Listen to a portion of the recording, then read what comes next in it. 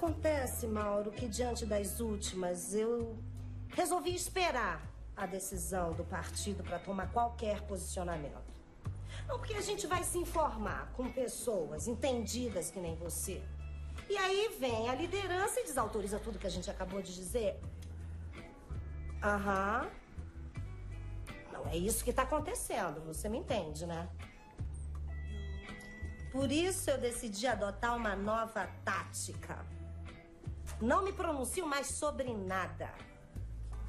Porque durante a eleição é assim. Pilar tem uma personalidade forte. Pilar é amada pelo povo. Mas aqui você tem que ser vaquinha de presépio. É. Obedecer, baixar a cabeça.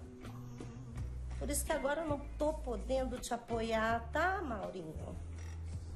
Mas. Quem sabe na próxima, hein? Tá bom. Tá bom, Mauro. Beijinho então. Tô pensando em fazer um projeto para voltar à escravidão por sua causa. Quer? Quer trabalhar, safado?